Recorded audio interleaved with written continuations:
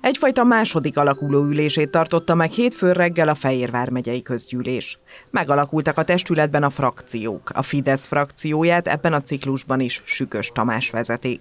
A Mi Hazánk frakció vezetője Giber Lajos lett, még a Demokratikus Koalíció frakciójának vezetőjévé Kertészévet választották.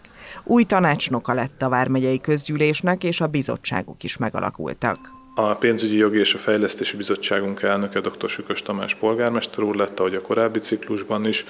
A Vármegyei Értéktár Bizottságunk elnöke Jakab Rózsa személye lett.